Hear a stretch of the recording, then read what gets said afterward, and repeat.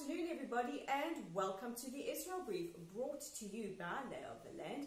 I'm Rolene Marks, bringing you the top stories making headlines every Monday to Thursday, right here on this very channel. And like it does every day, the coronavirus is dominating Israeli headlines. So let's take a look at our stats because they are continuing to be positive. In fact, in the last 24 hours, there have just been 13 new infections, and uh, the numbers are dropping slightly, or at least by one. Yesterday was 14, the day before 15, so the numbers are looking a little bit more positive. But let's take a look at how we're holding since the beginning of the pandemic.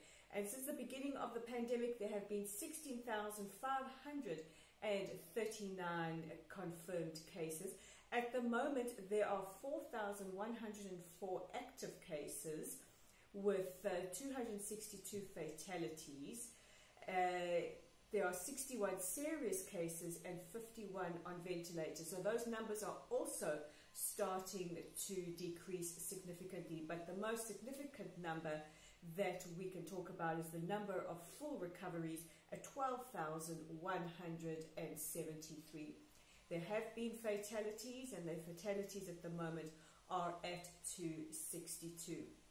So, with these good numbers, means uh, some slightly more progression uh, in the lifting of restrictions. Today, it was announced that uh, Ben Gurion Airport, which is the uh, international airport here in Israel, will start preparations for a full opening on the 1st of June. And uh, very, very, very strict measures will be taken. One of those measures will be you will have to announce intentions of flying or that you will be flying uh, quite uh, some time before you get to the airport.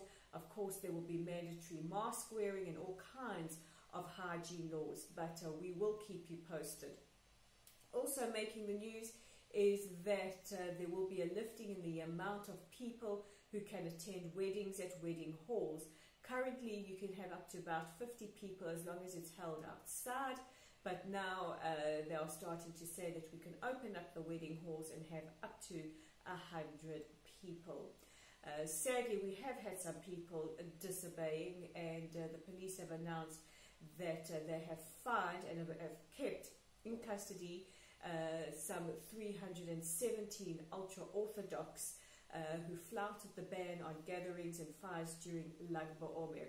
Those who were violent have been uh, re remanded and retained in custody, but uh, the rest have been let go with a fine. And uh, this is an issue that's causing a lot of dissension here in Israel, and we must be quite specific in saying it is a certain sect within a sect and not the whole community. But the big news of the day belongs to a 97 year old Holocaust survivor who has overcome the COVID 19 virus and was released from Rambam Hospital in Haifa earlier today. So there are these tremendous stories that are continuing to come out.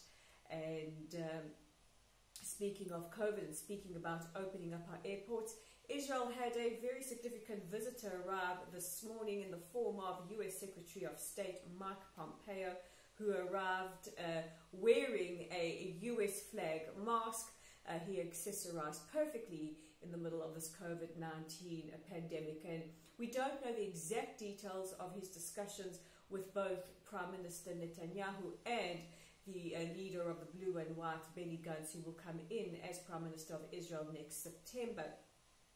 What we do know that might be on the agenda is a little bit about possible annexations, but also mostly about how Israel and the United States can work in partnership to combat COVID 19. And uh, Secretary of State Pompeo, without mentioning the name of the country, took a little bit of a swipe at China by saying that Israel and the United States were good partners who cooperated very, very well. He said, unlike some other countries, that uh, obfuscate or hide the evidence. Gee, I wonder who he could have been speaking about.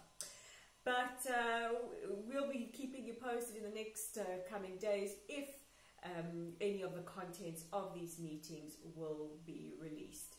Yesterday was a particularly painful day for the state of Israel as uh, news broke that First Sergeant Amit Ben Yigal, just 21 years old, was killed by a Palestinian who threw a cinder block at him from the roof of a house in the town of Yabed in the West Bank.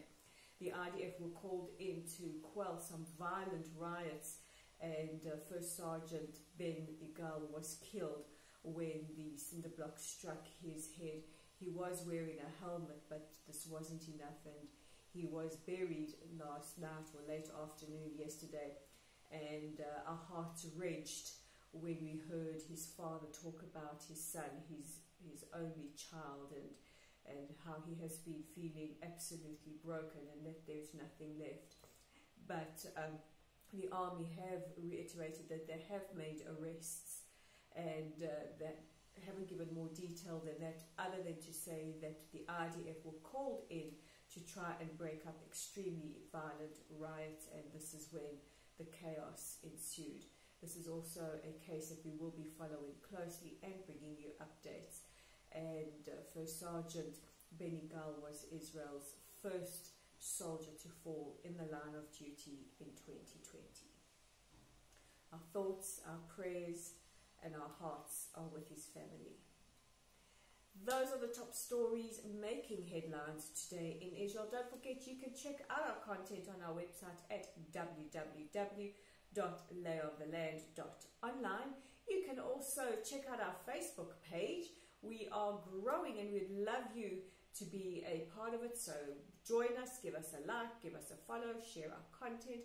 And also don't forget that we all can play our part in making sure that Israel's side of the story gets out to the masses. And if you don't share the, the Israel Brief on Facebook, you can do so by sharing our YouTube channel. We are at the Israel Brief. Simply click on the subscribe button and you'll be notified every time we bring you the news. So everybody from a steadily warming up Israel, I'm Rolly Marks wishing you good health and safety. This is the Israel Brief. We'll speak again tomorrow.